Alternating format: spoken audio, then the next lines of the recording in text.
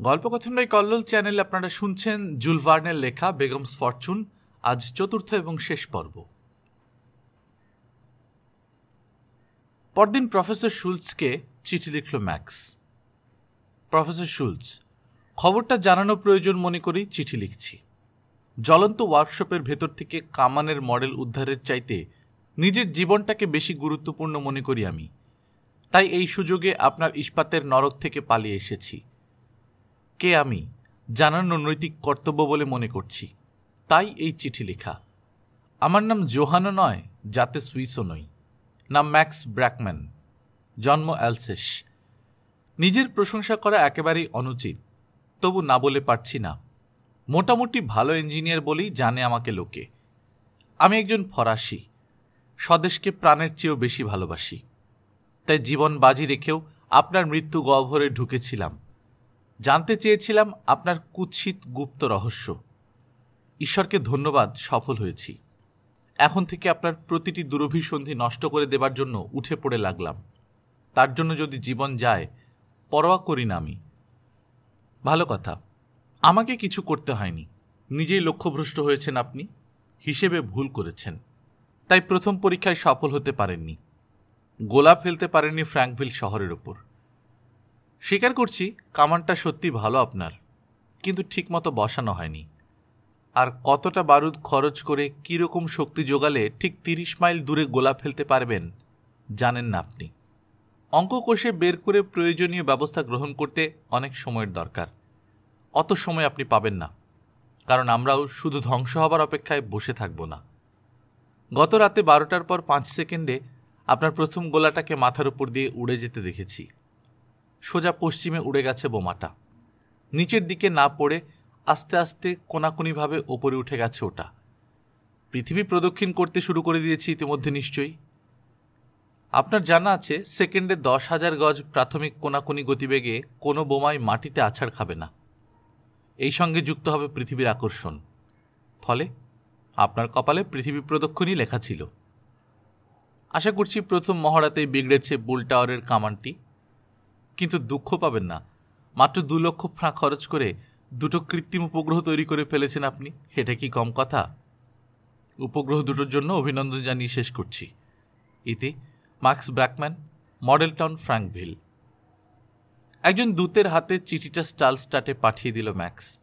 আসলে শুলসকে খোঁচা মারার লোভ সংবরণ করতে পারছিল না সে। ঠিকই আন্দাজ করেছিল ম্যাক্স। একবার ছুঁড়েই বাতিল হয়ে গিয়েছিল প্রফেসরের কামান। চিঠি পড়ে তেলে বেগুনে জ্বলে উঠলেন শুলস। রাগে রক্ত উঠে এলো মুখে। দুহাত মুঠো করে বিড়বিড় করে বললেন তিনি, তোমার চ্যালেঞ্জ গ্রহণ করলাম আমি, ম্যাক্স ব্র্যাকম্যান। মৃত্যুর আগ মুহূর্ত পর্যন্ত মডেল টাউনের বিরুদ্ধে চলবে আমার লড়াই। আপাতত বিপদ কেটে গেলেও পরিস্থিতি যে আরও ঘোরালো হয়ে উঠেছে, বুঝতে ভুল করলেন না ডক্টর সারাসিন আর ম্যাক্স। কিছুতেই নিরস্ত হবেন না হেয়ার শুলস। মিটিং বসল। কমিটির সামনে প্রফেসরের তৈরি প্রত্যেকটা অস্ত্রের বিশদ বিবরণ দিল ম্যাক্স। যে করেই হোক, বাধা দিয়ে থামাতে হবে শুলসকে, নইলে নিস্তার নেই। এবারে আর ভুল করবেন না প্রফেসর। ভেবে চিনতে হিসেব করে, ভুল বের করে যত তাড়াতাড়ি সম্ভব শুধরে নেবেন। আলোচনা চলল। ম্যাক্সের মত সমর্থন করল অটো। আগের চাইতে অনেক বদলে গেছে সে। অনেক ধীর, স্থির আর চালাক হয়েছে। কি সিদ্ধান্ত নেওয়া হলো মিটিংয়ে কেউ জানল না। আসল ব্যাপারটা গোপন রেখে খানিকটা ছিঁটে ফোটা জানিয়ে দেয়া হলো জনসাধারণকে। উদ্দেশ্য, অন্তত বিপদটা আঁচ করতে পারুক লোকে। জনসাধারণকে ডেকে বক্তৃতা দিলেন সারাসিন। প্রতিরক্ষা ব্যবস্থা আমাদের জোরদার করতে হবে। শত্রুর ক্ষমতা জেনে গেছি আমরা, তাই সেভাবেই তৈরি করতে হবে নিজেদেরকে। ইত্যাদি ইত্যাদি। প্রতিরক্ষা ব্যবস্থা জোরদার করতে শুরু করল ফ্র্যাঙ্কভিলের জনসাধারণ। হাসি মুখে কাজ করে চলল সবাই। দু বছরের উপযুক্ত খাদ্যশস্য সংগ্রহ করে রাখা হলো শহরের গুদামে। বাইরের খনি থেকে কিনে আনা হলো বিপুল পরিমাণ কয়লা আর লোহা। হাতিয়ার তৈরিতে মন দিল অস্ত্র নির্মাতারা। কিনে আনা হলো হাজার হাজার মন ময়দা টন টন নোনা মাংস, প্রচুর পরিমাণে পনির। যত পারা গেল খোঁয়ার বানিয়ে তাতে জায়গা দেয়া হলো গরু, মোষ, ভেড়া, ছাগল, শুয়োর। হাঁস মুরগিও কম আনা হলো না। আমদানি করা হলো সৈনিকদের ব্যবহারের জন্য উলের শার্ট মোটা সুতার ট্রাউজার্স, নরম চামড়ার টুপি, হাফ বুট ইত্যাদি। কাঁধে রাইফেল নিয়ে রোজ সকালে নিয়মিত কুচকাওয়াজ করে সৈনিক দল। রোজ রোজ নতুন লোক ভর্তি করা হয় সেনাবাহিনীতে। পথে, ঘাটে, মাঠে শুরু হলো ট্রেঞ্চ খোঁড়া।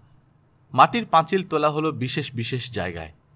হরেক রকম কামান তৈরি হতে লাগল কামান কারখানায়।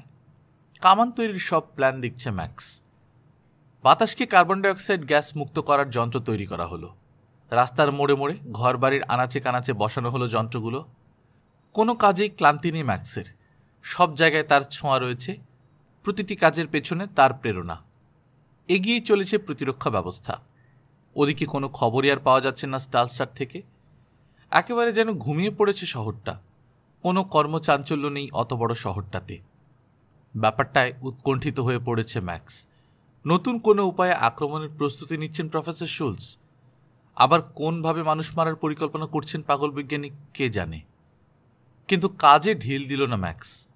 আগের কাজ আগে, পরে প্রফেসরের হঠাৎ নীরব হয়ে যাবার কারণ নিয়ে ভাবনা চিন্তা করা যাবে। কিন্তু ঘুণাক্ষরেও ভাবতে পারেনি ম্যাক্স কি ধরনের বিষয় অপেক্ষা করে আছে তার জন্যে। ব্যবসাদার আর শিল্পপতিদের প্রধান কর্মস্থল সান ফ্রান্সিসকো এক্সচেঞ্জ। এত বড় ব্যবসা কেন্দ্র কমই আছে পৃথিবীতে। ক্যালিফোর্নিয়ার রাজধানীর ভৌগোলিক বিশেষত্বই এতখানি আন্তর্জাতিক মান দান করেছে এই এক্সচেঞ্জকে। টকটকে লাল গ্রানাইটের বারান্দায় বসে ক্ষীণদেহী কেন্টদের সঙ্গে আড্ডা মারে এখানে সোনালি চুল স্যাক্সনরা। ফিনল্যান্ডার আর পর্তুগিজদের সঙ্গে গিয়ে মিশেছে আফ্রিকানরা। বিস্ময় বিস্ফারিত চোখে গ্রিনল্যান্ডারদের দেখে পলিনেশিয়ানরা।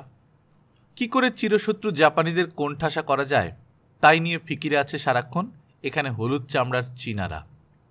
আধুনিক ব্যাবিলন নগরী যেন এটা, মহামিলন ক্ষেত্র। সব ভাষা, সব ভাব, আচার, আচরণের। সেদিন বারোই অক্টোবর, যথারীতি কাজ শুরু হয়েছে এক্সচেঞ্জে একটা বাজতেই অদ্ভুত একটা উত্তেজনা, সংক্রামক ব্যাধির মতো ছড়িয়ে পড়ল লোকের মাঝে। ভূমিকম্পের ঢেউয়ের মতো আরও বেশি করে ছড়িয়ে পড়ছে ক্রমেই। কেন যেন সহসাই ক্ষিপ্ত হয়ে উঠছে জনসাধারণ। মুখে মুখে ঘুরছে একটা খবর সুদূর পূব দেশ থেকে আসা একজন ব্যাংকার নিয়ে এসেছেন খবরটা।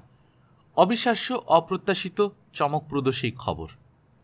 খানিক পরে এক্সচেঞ্জ বিল্ডিংয়ের উত্তর দিকের দেয়ালে অসংখ্য জায়গায় একটা খবরেরই অনেকগুলো কপি ছাপিয়ে আঠা দিয়ে সেঁটে দেওয়া হলো। বালির স্তূপ থেকে যেমন বালি উড়িয়ে নিয়ে যায় দমকা বাতাসে, তেমনিভাবে উত্তর দিকের দেয়ালের কাছে যেন উড়ে গেল জনতা। হুমড়ি খেয়ে পড়ল খবরটার উপর। নিউ ইয়র্ক, বারোটা চল্লিশ, সেন্ট্রাল ব্যাংক। স্টালস্টার্ট শিল্পনগরীর পেমেন্ট বন্ধ। দেনার পরিমাণ এই পর্যন্ত জানা খবরে চার কোটি সত্তর লক্ষ ডলার। প্রফেসর শুলস উধাও। কোনো সন্দেহ নেই, খবরটা গুজব নয়, খাঁটি সত্যি। দেয়ালে একটা লিস্ট ঝুলিয়ে দেওয়া হলো বেলা দুটোয়। যাদের সর্বনাশ করেছেন প্রফেসর শুলস, তাদের নাম, ধাম, পরিচয়। নির্দিষ্ট সময়ের অনেক আগেই সেদিন বেরিয়ে গেল সন্ধ্যাকালীন দৈনিকগুলো। নিমেষে শেষ হয়ে গেল ছাপা সমস্ত কাগজ। কিন্তু খবরের কাগজেও কোনো বিস্তারিত খবর পাওয়া গেল না। যা পাওয়া গেল অতি সামান্য। পঁচিশ সেপ্টেম্বর আট কোটি ডলারের একটা চেক প্রফেসরের নিউ ইয়র্ক ব্যাংকে হাজির করা হলে সেটি ডিজনার করা হয়। অত টাকা নাকি নেই হেয়ার শুলসের অ্যাকাউন্টে। টেলিগ্রামে নির্দেশ চাওয়া হয় প্রফেসরের, কিন্তু কোনো জবাব আসেনি তার কাছ থেকে। ব্যাপার কি? ভাবতে ভাবতেই খাতাপত্র খুলে বসলেন কর্তৃপক্ষ। আঁতকে উঠলেন। গত তেরো দিন ধরে চিঠিপত্র বা টাকা পয়সার হিসেব পাঠায়নি স্টালস্টার্টের চিফ অ্যাকাউন্টেন্ট। এরপর থেকে স্রোতের মতো আসতে শুরু করল শুলসের সই করা চেক। সবাইকে ফেরত দেওয়া হলো। একই উত্তর, টাকা নেই প্রফেসর শুলসের অ্যাকাউন্টে। টেলিগ্রামের পর টেলিগ্রাম আসতে শুরু করল স্টালস্টার শহরে। কাকুতি মিনতি, উত্তেজিত প্রশ্নাবলী, অনুরোধ, ভীতি প্রদর্শন, সব রকম ভাষাই থাকল বিভিন্ন টেলিগ্রামে। এর চার দিন পরে ব্যাংকের টেলিগ্রাম এলো স্টালস্টার থেকে। সতেরোই সেপ্টেম্বর উধাও হয়েছেন হেয়ার শুলস। কেন? কেউ জানে না। রহস্যের ব্যাখ্যা দিতে পারছে না কেউ। কারও জন্যই কোনো আদেশ নির্দেশ রেখে যাননি প্রফেসর। একেবারে খালি প্রতিটি সেকশনের আয়রন সেফ। এরপর আর সত্যকে ধামাচাপা দিয়ে রাখার প্রশ্নই ওঠে না। ঘাবড়ে গিয়ে দাবি দেওয়ার ফিরিস্তি নিয়ে আদালতে ছুটল বড় বড় কোম্পানিগুলো। এদের অনেকেরই প্রফেসরের সাথে ব্যবসায় লালবাতি জ্বলেছে। পাওনাদারদের ভিড় বাড়তেই থাকল। ক্রমে ছয় কোটিতে গিয়ে ঠেকল পরিমাণটা। বোঝাই যাচ্ছে, আরও বাড়বে। রিপোর্টারদের একটা মস্ত দল গিয়ে হানা দিল লৌহনগরীতে, চোদ্দই অক্টোবর। কিন্তু সদর দরজা বন্ধ, দরজার উপাশে আছে পাহারাদাররা। ভেতরে ঢুকতে না পারলেও একটা খবর ঠিকই বের করে ফেলল রিপোর্টাররা। এই বিপুল বিপর্যয়ের কিছুই জানে না স্টাল স্টার্টের নিম্ন স্তরের কর্মচারীরা। ওভারশিয়াররা অবশ্য আদেশ পেয়েছে, পরবর্তী নির্দেশ না পাওয়া পর্যন্ত বন্ধ থাকবে কাজকর্ম। রহস্যের কোনো মীমাংসা তো হলই না, ক্রমশ আরও জটিল আকার ধারণ করল। একটা বিষয়ে অবশ্য নিঃসন্দেহ সবাই, সত্যি নিখোঁজ হেয়ার শুলস, কারণটা কেউ জানে না। স্টাল স্টার্টের সর্বময় প্রভু প্রফেসর শুলস, তার নির্দেশ ছাড়া এখানকার কুটোটি ওখানে সরানো হয় না। কাজে যেইমাত্র নিরুদ্দেশ হলেন তিনি, কলকারখানার চাকা বন্ধ হয়ে গেল। কাগজপত্রে প্রমাণ পাওয়া যায়, শেষ সই করেছিলেন প্রফেসর সতেরোই সেপ্টেম্বর। এরপর আর কোনো সই নেই। খবরটা একান ওকান হতে ছড়িয়ে পড়ল তেরোই অক্টোবর। পেমেন্ট বন্ধ, টাকা ফুরিয়েছে লৌহনগরীর, অথচ এর আগের দিনটি পর্যন্ত টাকা কড়ির হিসেবপত্র পাঠানো হয়েছে ব্যাংকে। নিষ্ঠার সঙ্গে সমস্ত চিঠি, কাগজপত্র তোড়া বেঁধে ফেলে গেছে স্টালস্টাটের ডাকঘরে। তবে হ্যাঁ এখনও একেবারে নিরাশ হয়নি পাওনাদারের দল, কারণ ব্যাংক শূন্য হলেও স্টাল স্টালস্টাটের স্থাবর সম্পত্তির দাম কম নয়। এই সম্পত্তি বিক্রি করে অনায়াসেই মিটিয়ে দেয়া যায় পাওনা টাকা। আদালতে গিয়ে নালিশ দিল পাওনাদারেরা। ওদিকে অস্বাভাবিক দ্রুত ভেঙে তলিয়ে যেতে শুরু করল স্টালস্টাটের মতো অত বড় একটা প্রতিষ্ঠান। শুধু একজন লোকের অভাবে। এমন কাউকে নিযুক্ত করেনি প্রফেসর শুলস, যে তার অবর্তমানে অন্তত কিছুদিনের জন্য হলেও হাল ধরবে। একে একে নিভে যেতে শুরু করল স্টালস্টাটের বিশাল ফার্নেসগুলো কেটে পড়তে শুরু করল শ্রমিক আর কর্মচারীরা। আঁচ করতে শুরু করেছে ওরা, আর পড়ে থেকে লাভ নেই এখানে। কিন্তু কেউ কেউ পড়ে থাকল লৌহনগরীর মাটি কামড়ে। এখানে বাইরের অন্যান্য এই জাতীয় প্রতিষ্ঠান থেকে অনেক বেশি মাইনে দেওয়া হয়। আশায় আশায় বসেই থাকল ওরা। কিন্তু একদিন তাদেরকেও কেটে পড়তেই হলো বাধ্য হয়ে। কদিন আর না খেয়ে থাকা যায়। আসন্ন শীতের দুরন্ত প্রকোপে ধ্বংস হয়ে যাবার জন্য অপেক্ষা করে রইল প্রফেসর শুলসের শূন্য স্টাল স্টার্ট যে যাই মনে করুক, শুলসের অন্তর্ধানের কথা শুনে কিন্তু অন্যরকম সন্দেহ করে বসল ম্যাক্স। প্রথমেই প্রশ্ন জাগল তার মনে, নতুন ফোন দিয়ে আটেননি তো ধুরন্ধর জার্মান প্রফেসর? আলোচনায় বসল প্রতিরক্ষা কমিটি, হুঁশিয়ার হতে হবে আরও। নিশ্চয়ই ইচ্ছে করেই গুজব ছড়াচ্ছে স্টালস্টাটের লোকেরা, যাতে অমনোযোগী হয়ে পড়ে ফ্র্যাঙ্কভিল। ঢিলে দেয় প্রতিরক্ষা ব্যবস্থায়। তাই ঠিক করল কমিটি, কাজে বিন্দুমাত্র ঢিল দিলে চলবে না।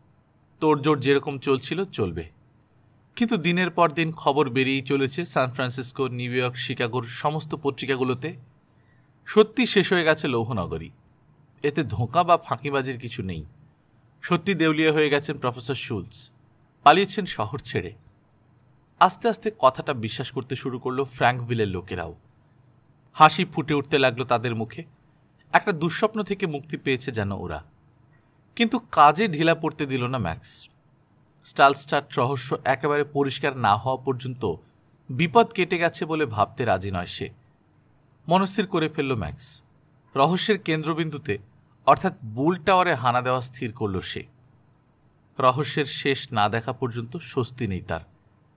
কিন্তু বাধা দিলেন ডক্টর সারাসিন। বললেন, না না, এ কাজ করো না ম্যাক্স। কে জানে কোথায় মাইন্ড পুঁতে রেখেছে শুলস? না জেনে পা দিলেই ছিন্ন ভিন্ন হয়ে যাবে। আমি কিছুতেই বিশ্বাস করতে পারছি না কেটে পড়েছে ওই ধুরন্ধর বিজ্ঞানী। নিশ্চয়ই বুল টাওয়ারে গা ঢাকা দিয়ে বসে নতুন কোনো কুটিল ফোন দিয়ে আঁটছে দারুণ খেপে আছে সে তোমার ওপর এবার হাতে পেলে আর কিছুতেই প্রাণে বাঁচতে দেবে না। নিজের পাশবিক চক্রান্ত চরিতার্থ করার আগে কিছুতেই ক্ষান্ত হবে না ওই লোক। ডক্টরের কথার কোনো প্রতিবাদ করল না ম্যাক্স। কিন্তু রাতের বেলা সারাসিনকে না জানিয়ে রওনা দিল সে। এবারে অটোও চলেছে তার সঙ্গে। নিঝুম নিশীথে ঘুমন্ত একটা গ্রামের মধ্য দিয়ে ছুটে গেল তাদের গাড়ি। মরুভূমি পেরিয়ে ভোরবেলা লৌহনগরীর প্রধান ফটকে এসে থামল ওরা। পূব আকাশে তখন উঁকি ঝুঁকি মারছে সূর্য। বিশাল চিমনিগুলোর দিকে চাইল ম্যাক্স। প্রথম যেদিন এখানে এসেছিল সেদিনে ওই চিমনিগুলোর ওপর ভোরের সূর্যরশ্মি পড়ে এমনই চকচক করছিল। লাফ দিয়ে গাড়ি থেকে নামল দুই তরুণ। দুজনেরই পণ রহস্য ভেদ না করে কিছুতেই ফিরবে না। পাশাপাশি হেঁটে প্রাচীরের পাশ দিয়ে এক চক্কর ঘুরে আসতে বুঝল ম্যাক্স, লোক থাকে না আর লৌহনগরীতে। সবাই চলে গেছে। খাঁ খাঁ করছে চারদিক। চক্রাকার পথে এখন আর মানুষ নেই। নেই কোনো শব্দ, কোলাহল। অথচ মাত্র মাসখানেক আগেও এখানে শোনা যেত ভেতরের যন্ত্রদানবের গুরুগম্ভীর গর্জন। চোখে পড়ত পাহারাদারের বেয়নেটের ঝিলিক। উঁচু উঁচু চিমনিগুলোর মুখ দিয়ে আকাশে উঠে যেত কালো ধোঁয়ার কুণ্ডলী। বিভিন্ন বিভাগের খোলা দরজার মধ্য দিয়ে দেখা যেত ভেতরের উজ্জ্বল ইলেকট্রিক আলোর ছটা। অথচ এখন সব নিস্তব্ধ, প্রাণশূন্য। মৃত্যুর নীরবতা বিরাজ করছে সমস্ত শহরটায়। দীর্ঘ চিমনিগুলোকে একদা জীবন্ত শহরের বেরিয়ে পড়া পাঁজরের হাড়ের মতো লাগছে। কংক্রিটের রাস্তায় নিজেদের বুট পরা পায়ের আওয়াজ শুনতে পাচ্ছে ম্যাক্স আর অটো। এই নিঃসীম নীরবতার মাঝে এইটুকু শব্দই বড় বেশি কানে বাজছে। এই নিস্তব্ধতা সইতে পারছে না অটো। বলল সে, এ কোন গোরস্থানে এসে পড়লাম, ম্যাক্স? হাঁটতে হাঁটতে বুল টাওয়ার ঘিরে রাখা পরীক্ষার সামনে এসে দাঁড়াল দুই বন্ধু। হাত ঘড়ি দেখল ম্যাক্স, সকাল সাতটা। সামনে দেখা যাচ্ছে বুল টাওয়ারের প্রধান গেট। আগে এখানে খুঁটির মতো সার বেঁধে দাঁড়িয়ে থাকতো বন্দুকধারী পাহারাদার। এখন জনশূন্য। দেয়ালের মাথায় দাঁড়িয়ে পাহারা দিচ্ছে না ভীষণ দর্শন পাহারাদার। পরীক্ষা পেরোনোর ঝুলন্ত কাঠের সাঁকোটা ঘুরিয়ে ওপারে নিয়ে রাখা হয়েছে। তৈরি হয়েই এসেছে দু বন্ধু। এই ধরনের সম্ভাবনার কথা আগেই ভেবেছে ম্যাক্স। সঙ্গে আছে মোটা দড়ি। দড়ির এক মাথায় একটা ফাঁস তৈরি করল ম্যাক্স। ছুঁড়ে দিল সাঁকোর একটা খুঁটি লক্ষ্য করে। আটকালো না। চতুর্থ বারে গিয়ে সফল হলো সে। আটকে গেল দড়ি। দড়ির অন্য মাথা এপারের একটা খুঁটির সঙ্গে বাঁধল ম্যাক্স। তারপর দড়ি ধরে ঝুলে পরীক্ষা পেরিয়ে গেল। অটোকে ওপারেই অপেক্ষা করতে বলে এগিয়ে গেল দরজার দিকে। বন্ধ। বুল টাওয়ারকে ঘিরে রাখা স্টিলের পাতের ওপর কংক্রিট বসানো উঁচু দেয়াল ভেদ করে কিংবা ডিঙিয়ে ওপাশে যাওয়া অসম্ভব। পরীক্ষা পেরিয়ে এলো ম্যাক্স। অটোকে বলল, এ পথে নয়, কেন্দ্রীয় ভবনের ভেতর দিয়ে ঢুকতে হবে। আবার বৃত্তাকার পথে অটোকে নিয়ে চলল ম্যাক্স। সামনেই বিকট দর্শন, কিম্ভূত কিমাকার সৌধ সারি স্টাল স্টাটের প্রাণশূন্য প্রহরী যেন ওগুলো। মুখ গর্জনে ধমকে উঠেছে, কি চাই এখানে? চলে যাও। আমাদের গুপ্ত রহস্য নিয়ে অত মাথা ব্যথা কেন তোমাদের? হাঁটতে হাঁটতে ম্যাক্স বলল, চলো, ও সেকশনের গেট থেকে শুরু করা যাক। ওই পথটাই ভালো মতো চিনি আমি। পশ্চিম দিকে আরও একটু এগিয়ে যেতেই ও সেকশনের গেট চোখে পড়ল। স্মৃতিসৌধের মতো উঁচু খিলান, উপরে বিশাল প্রস্তর ফলকে খোদাই করা ইংরেজি ও অক্ষরটি লোহার দানবীয় পেরেক মারা ও কাঠের বিশাল পাল্লা দুটো বন্ধ। বড়সড় একটা পাথর রাস্তা থেকে কুড়িয়ে নিয়ে দরজার পাল্লায় ঘা মারতে লাগল ম্যাক্স। ধ্বনিত প্রতিধ্বনিত হয়ে দূর হতে দূরে মিলিয়ে গেল সেই শব্দ। অটোর কাঁধের ব্যাগ থেকে আরেক টুকরো দড়ি বের করল ম্যাক্স। ছুঁড়ে ছুঁড়ে কাঠের বর্গায় আটকাবার চেষ্টা করল দড়ি। বেশ কয়েকবার চেষ্টা করতেই আটকে গেল। প্রথমে দড়ি ধরে ঝুলতে ঝুলতে গেটের মাথায় গিয়ে চড়ে বসল ম্যাক্স, তারপর অটো। দড়ি ধরেই আবার ও সেকশনের আঙিনায় নেমে এলো দুজনে। মহা মুসিবত দেখছি। বিরক্ত কণ্ঠে অটো বলল, এভাবে ঝুলতে ঝুলতে দেয়াল পেরোতে হলে তো সর্বনাশ। এটাই আমার পুরনো কারখানা। আঙুল তুলে দেখিয়ে বলল, ম্যাক্স, আয়তো দেখি, কিছু যন্ত্রপাতি আর কয়েক বান্ডিল ডিনামাইট জোগাড় করা যায় কিনা? বিশাল ঢালাই ঘরে এসে ঢুকলো দুজনে। পাডলিং সব থেকে বদলি হয়ে এসে এই ঘরেই প্রথমে কাজ করেছিল ম্যাক্স। আগের সেই জমজমাট অবস্থা এখন আর নেই। চুল্লিগুলো নিভে গেছে। উপরের কপিকল থেকে ফাঁসির দড়ির মতো ঝুলছে অসংখ্য ধুলি ধূসরিত দড়ি দ্বারা। দেখলে কেমন যেন করে ওঠে গা। এই গা ছমছমানি ভাব কাটাতে হলে কথা বলা দরকার, বুঝল ম্যাক্স। চল অটো, এর চেয়ে অদ্ভুত ওয়ার্কশপ আছে ওদিকে। চল যাই। ম্যাক্সের পেছন পেছন এগিয়ে চলল অটো। অবাক দৃষ্টিতে এদিক ওদিক চাইছে সে। একটা ক্যান্টিনের মধ্যে দিয়ে এগিয়ে চলেছে এখন ওরা। তাকের উপর সাজানো লাল, হলদে, সবুজ বোতলের শাড়ি, মদ। একটা তাকে কয়েক বাক্স শুকনো মাংস পেল ম্যাক্স। তিনজাত অন্য কিছু খাবারও আছে। দেখেই খিদেটা চাগিয়ে উঠল তার। মনে পড়ে গেল, এখন পর্যন্ত সকালের নাস্তাও হয়নি তাদের। এরপর কি করতে হবে খেতে খেতেই আলোচনা করে স্থির করে নিল দুজনে। একটা ওয়ার্কশপ থেকে প্রয়োজনীয় যন্ত্রপাতি আর ডিনামাইট জোগাড় করে নিল ম্যাক্স। সামনেই আরেকটা কংক্রিটের দেয়াল। দেয়ালের নিচে এক অংশে খানিকটা জায়গা সাফ করে নিল দুজন মিলে। একটা তুরপুন দিয়ে দেয়ালের ওই জায়গায় ছিদ্র করল ম্যাক্স। সেই ছিদ্রের শাবল ঢুকিয়ে দিয়ে চাঁড় দিল প্রাণপণে। আস্তে আস্তে চাপড়া খসে খসে বেশ বড় হলো ছিদ্রটা। ছিদ্রের ভেতর কয়েকটা ডিনামাইট ঢুকিয়ে সলতায় আগুন ধরিয়ে দিল ম্যাক্স। সলতে পুড়ে ডিনামাইটে আগুন লাগতে মিনিট পাঁচেক লাগবে। নিরাপদ দূরত্বে সরে যেতে হবে এই সময়ের মধ্যে। অটোকে ছুটতে বলে ক্যান্টিনের দিকে দৌড়ালো ম্যাক্স।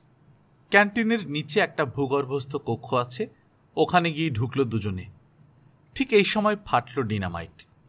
যেন ভূমিকম্প হচ্ছে, থরথর করে কেঁপে উঠল মাটি, ভূগর্ভস্থ কক্ষটাও। প্রচণ্ড শব্দে কানে তালা লেগে যাবার জোগাড়। রাবিশ আর বড় বড় পাথর ছিটকে পড়ার আওয়াজ শোনা যাচ্ছে। এরপরই শোনা গেল আর একটা শব্দের সিরিজ। একটানা শব্দে ভেঙে পড়ছে ঘর বাড়ির ছাদ, করিবর্গা, দেয়াল, জানলার কাচের শাঁসি প্রলয় কাণ্ড ঘটছে যেন বাইরে। ধ্বংস হয়ে যাচ্ছে সমস্ত সৃষ্টি, এমনই ভয়ঙ্কর সেই আওয়াজ। একসময় শেষ হলো শব্দের রেশ। অটোকে নিয়ে বাইরে বেরিয়ে এলো ম্যাক্স। ধ্বংসের পরিমাণ দেখে অবাক হলো দুজনেই। ও সেকশনের অর্ধেকটাই উড়ে গিয়েছে। আশেপাশের প্রায় সবকটা ওয়ার্কশপের দেয়াল বিধ্বস্ত। চারপাশে কেবল ভাঙা ইট, কাঠ, পাথর, কাচের টুকরো পলেস তারা ছড়িয়ে আছে। আকাশে এখনও ধুলোর মেঘ, আস্তে আস্তে নামছে মাটিতে। ভাঙা দেয়ালটার দিকে ছুটল ম্যাক্স আর অটো। পনেরো বিশ ফুটের মতো ভেঙে গুঁড়ো হয়ে গেছে দেয়াল। ফাঁক দিয়ে দেখা যাচ্ছে অতি পরিচিত মস্ত হলঘরটা অনেকগুলো একঘেয়ে দিন আর রাত কেটেছে এখানে ম্যাক্সের। তার ড্রাফটসম্যানগিরির বহু স্মৃতির কেন্দ্রস্থল এই ঘর। নেই কেবল বন্দুকধারী কাঠখোট্টা শান্তিরা। ডিনামাইট বিস্ফোরণের শব্দের পর এখন আরও অনেক বেশি নীরব লাগছে আশপাশটা। স্টুডিওগুলোর শোচনীয় অবস্থা দেখতে দেখতে এগিয়ে চলল ম্যাক্স। এক কোণে তার আঁকা অর্ধসমাপ্ত স্টিম ইঞ্জিনের ডিজাইনটা চোখে পড়ল। এটা শেষ করার আগেই প্রফেসর শুলস তলব করেছিলেন তাকে। নিতান্ত অবহেলায় এখানে ওখানে গড়াগড়ি যাচ্ছে লাইব্রেরির বই আর ম্যাগাজিনগুলো। দেখেই বোঝা যাচ্ছে পুরো দমে চলছিল লৌহনগরী। হঠাৎ যেন স্তব্ধ হয়ে গেছে সব কাজকর্ম। চলতে চলতে কেন্দ্রীয় ভবনের আঙিনে এসে পড়ল দুজনে। তারপর আরেকটা দেয়াল। এর ওপাশেই বুল টাওয়ারে শুলসের আজব বাগান। আবার দেয়াল। দেব নাকি ডিনামাইট দিয়ে উড়িয়ে? বিরক্ত হয়ে জিজ্ঞেস করল অটো। আগে দেখি ছোটোখাটো দরজা এক আধটা মেলে কিনা। অল্প বারুদেই কাজ চলবে। দেয়ালটার চারধারে ঘুরে দেখতে শুরু করল দুজনে। একটু পরেই পাওয়া গেল দরজাটা। ছোট্ট, বন্ধ। দুই মিনিটের মধ্যেই কাঠের দরজার তলার দিকটা ছাঁদা করে ফেলল ম্যাক্স। ফুটো দিয়ে ওপাশে তাকালো। কেউ নেই। উঠে সে ম্যাক্স বলল, আর একটা মাত্র দরজা আছে অটো। ওটা ভাঙতে পারলেই একেবারে শুলসের খাস কামড়ায় পৌঁছে যাব। কিন্তু এই দরজার কি ব্যবস্থা করব? কুড়োল দিয়ে ভেঙে ফেলব? কুড়োলের কয়েক ঘা খেয়েই ভেঙে পড়ল ছোট কাঠের দরজা। ওপাশে পা দিল দুজনে। শেষ দরজাটা সামনে দাঁড়িয়ে কুড়ুলের উল্টো পিঠ দিয়ে ঠুকে দেখল ম্যাক্স। এই সময় দরজার তালায় চাবি ঘোরানোর শব্দ হলো। মৃদু শব্দ করে খুলল কেউ ছিটকিনি। একটু ফাঁক হলো পাল্লা দুটো। ভেতর থেকে অবশ্য লোহার শেকল আড়াআড়িভাবে আটকানো রয়েছে পাল্লায়। মোটা ক্ষণক্ষণে গলায় প্রশ্ন এলো ভেতর থেকে, কে ওখানে?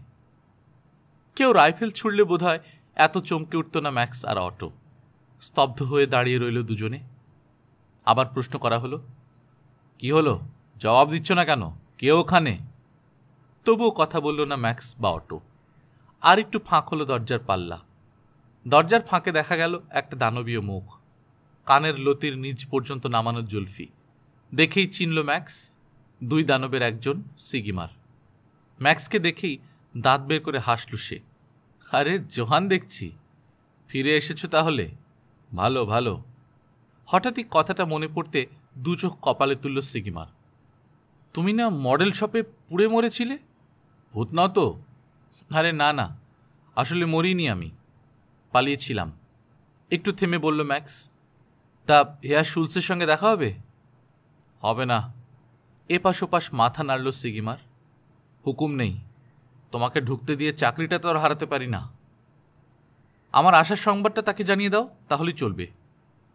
নেই হেয়ার শুলস চলে গেছেন। বিষণ্ন কণ্ঠে সিগেমার বলল, কোথায় গেলেন? আসবেন কবে? তা তো জানি না। আবার কঠোর হলো সিগিমার। এত কথায় আপনার দরকার নেই। আমাদের উপর হুকুম আছে, অনুমতিপত্র ছাড়া কাউকে যেন ঢুকতে না দেই, ব্যাস। আর একটা কথাও বের করা গেল না সিগিমারের কাছ থেকে। কিছুতেই মুখ খুলতে রাজি নয় ও। নাকি আর কিছু জানেই না, কে জানে? ধৈর্য হারালো অটো, দারুণ খেপে গেল সে। এই ব্যাটাকে অত তেল মাখছিস কেন, ম্যাক্স? চল না, জোর করে ঢুকে পড়ি।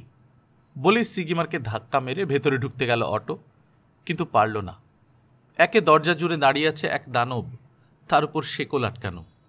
প্রচণ্ড জোরে অটোর বুকে ধাক্কা মারল সিগিমার ছিটকে মাটিতে পড়ে গেল অটো, সঙ্গে সঙ্গে দড়াম করে বন্ধ হয়ে গেল দরজা। রাগে দুঃখে অপমানে লাল হয়ে গেছে অটোর মুখ চোখ। এক লাফে উঠে দাঁড়াল সে, চেঁচিয়ে বলল ডিনামাইট দিয়ে উড়িয়ে দেবো ব্যাটাকে। ম্যাক্সের দিকে ফিরে বলল, আর কেউ আছে নাকি ব্যাটার সঙ্গে? আরেকটা দানব, আর্মেনিয়াস। ঠিক এই সময় আকাশ থেকে দৈববাণী হলো যেন। কে ওখানে? চমকে উপরের দিকে মুখ তুলল অটো আর ম্যাক্স।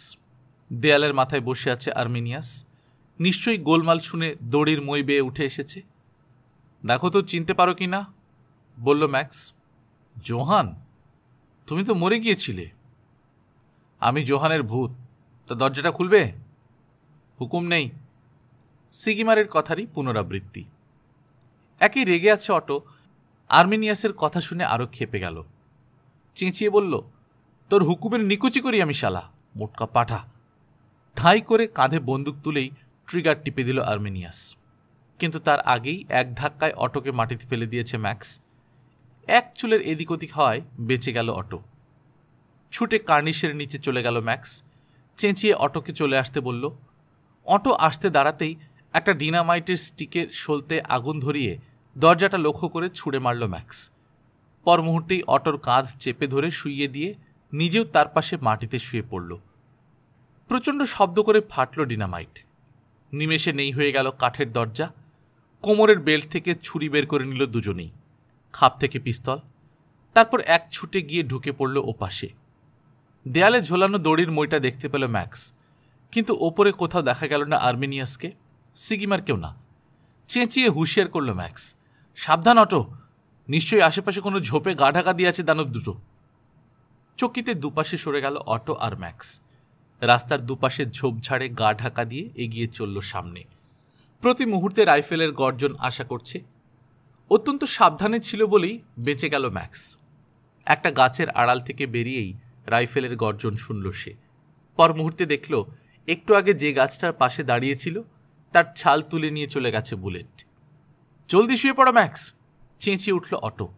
শুয়ে পড়ল ম্যাক্স, বুকে হেঁটে এগিয়ে চলল বুল টাওয়ারের দিকে।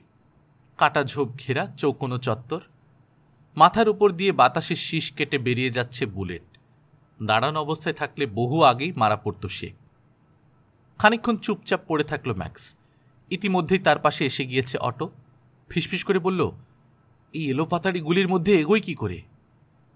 এদিক ওদিক চাইল ম্যাক্স, তারপর আঙুল দিয়ে দেখিয়ে বলল, ওই যে ওই যে, ওই নিচতলার জানলা, ওখান থেকেই গুলি চালাচ্ছে ব্যাটারা।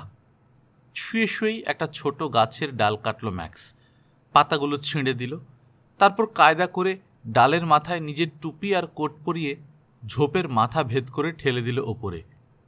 দূর থেকে দেখলে ঝোপে লুকিয়ে থাকা একটা মানুষের আবছা অবয়ব বলেই মনে হবে। জানলা লক্ষ্য করে গুলি চালা, বলল ম্যাক্স, তোকে নিয়েই ওরা থাকুক। এই সুযোগে পেছন দিয়ে ঢুকে পড়ার চেষ্টা করব আমি। আর হ্যাঁ গুলি চালাবার আগে ঝোপটা একটু নাড়া দিস। উল্টো দিক ধরে ক্রল করে এগিয়ে চলল ম্যাক্স। তাকে সরে যাবার সময় দিল অটো। তারপর ঝোপ ধরে একটা আলতো নাড়া দিল। প্রায় সঙ্গে সঙ্গে গর্জে উঠল রাইফেল। ঝাঁঝরা হয়ে গেল ম্যাক্সের টুপি আর কোট। ওখানে যদি সত্যি ম্যাক্স থাকতো, শিউরে উঠল অটো। জানলা লক্ষ্য করে একের পর এক গুলি চালালো সে। বিশ পঁচিশ রাউন্ড গুলি চলার পর আচমকা স্তব্ধ হয়ে গেল আওয়াজ। হঠাৎ ম্যাক্সের চিৎকার শুনতে পেল অটো। অটো শিগগিরায় আওয়াজ শুনেই বোঝা যায় ঠিকমতো শ্বাস নিতে পারছে না ম্যাক্স। কোনো কারণে দম বন্ধ হয়ে আসছে তার। তড়াক করে লাফিয়ে উঠেই ছুটল অটো। কাঁটা ঝোপে লেগে ছিঁড়ে যাচ্ছে হাত পায়ের চামড়া। সেদিকে খেয়াল নেই তার। যেদিক দিয়ে ঢুকেছিল ম্যাক্স, সেদিকে গিয়ে ডানে একটা ঘর দেখতে পেল। এই ঘরের জানলা থেকেই গুলি চলছিল। এক ছুটে ঘরে ঢুকে পড়ল অটো। দেখল মেঝেতে চিত হয়ে পড়ে আছে ম্যাক্স। তার বুকে চেপে বসে দুহাতে গলা টিপে ধরেছে সিগিমার। দানবটার হাত থেকে ছাড়া পাওয়ার প্রাণপণ চেষ্টা করছে ম্যাক্স, কিন্তু পেরে উঠছে না। এক মুহূর্ত দেরি না করে এগিয়ে গেল অটো।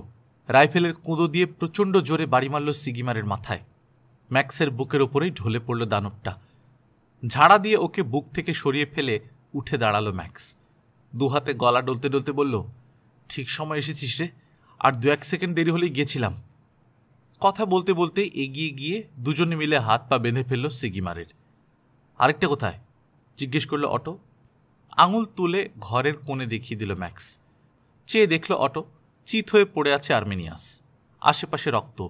পড়ে থাকার কায়দা দেখে বোঝা যায় মারা গেছে। জিজ্ঞাসু দৃষ্টিতে বন্ধুর দিকে চাইল অটো। তোর গুলিতেই মারা গেছে ব্যাটা। ঠোঁট উল্টে স্ট্রাক করল অটো। মরুক, নইলে আমাদের মরতে হতো। চল এখন, দেরি না করে শুলসের খোঁজ নেওয়া যাক। তাড়া দিল ম্যাক্স। ঘর থেকে বেরিয়ে পড়ল দুই বন্ধু। অটোকে পথ দেখিয়ে শুলসের ঘরে নিয়ে চলল ম্যাক্স।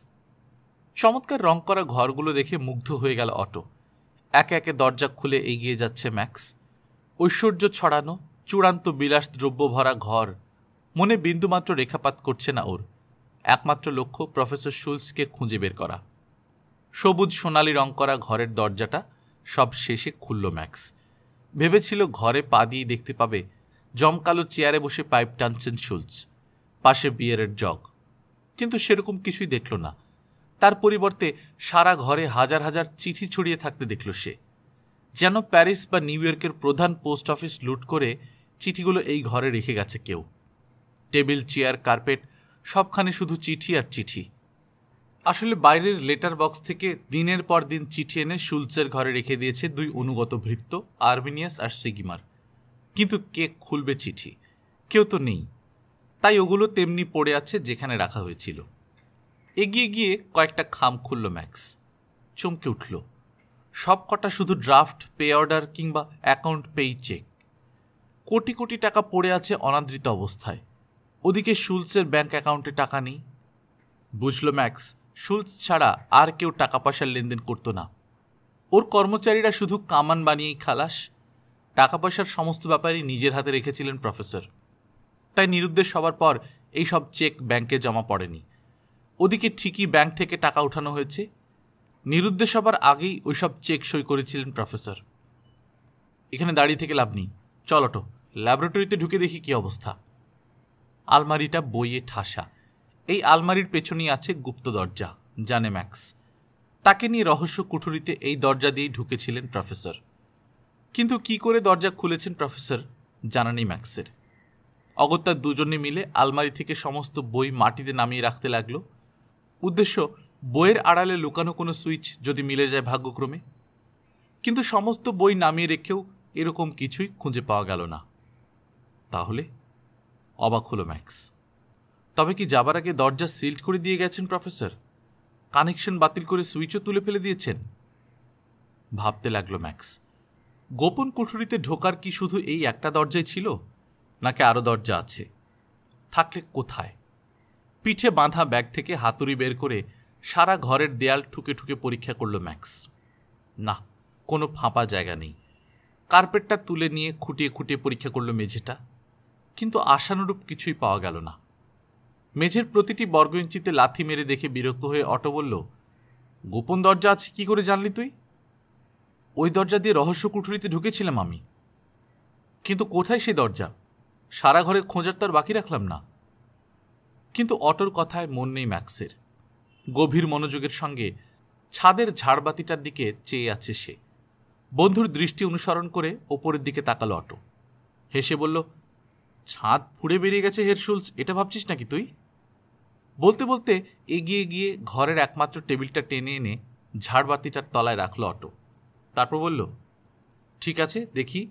ওই ব্যাটা জার্মানের তো আবার শয়তানি বুদ্ধি ছিল, খুব শুনেছি। ঝাড়বাতিটা ধরে টান মারল অটো। সঙ্গে সঙ্গে যেন ভোজবাজি দেখাল কোনো অদৃশ্য জাদুকর টেবিলটার কাছ থেকে ইঞ্চি তিনেক দূরে নিঃশব্দে সরে গেল মেঝের তিন বর্গফুট পরিমাণ জায়গা। ধাপে ধাপে ইস্পাতের সিঁড়ি নেমে গেছে নিচের দিকে। বলেছিলাম না আরও দরজা আছে রহস্য কুঠুরিতে ঢোকার? বলল ম্যাক্স, চল, আর দেরি করে লাভ কি? ঢুকি। সিঁড়ির শেষ ধাপে এসে দাঁড়াল দুই বন্ধু। সামনে বড় একটা ঘর। এর আগে এই ঘরে ঢোকেনি ম্যাক্স। আসলে অন্য পথে অন্য ঘরে নিয়ে গিয়েছিল তাকে প্রফেসর শুলস। কোনো দরজা জানলা নেই এই ঘরটায়। তাহলে আলো আসছে থেকে ভরা জোৎস্নায় যেমন থাকে, ঠিক সেই রকম নরম কিন্তু উজ্জ্বল আলোয় ভরে গেছে ঘর। ঘরের ছাদের দিকে কেবল আলোর উৎস খুঁজছে অটো। আঙুল তুলে দেখিয়ে ম্যাক্স বলল, ওপরে নয় অটো, নিচে মেঝের দিকে দেখ। মেঝের দিকে চেয়েই অবাক হয়ে গেল অটো। একটা বিশাল গোল কাঁচ দিয়ে ঢেকে দেওয়া হয়েছে মেঝের ঠিক মাঝখানটা। সেখান দিয়েই আলো আসছে। আরও কয়েক পা এগিয়ে গেল দুজনে। পুরো লেন্সের মতো কাঁচ দিয়ে ঢাকা মেঝে। উঁকি দিয়ে দেখল নিচে আরেকটা ঘর দেখা যাচ্ছে। ওই ঘরেই জ্বলছে উজ্জ্বল ইলেকট্রিক আলো।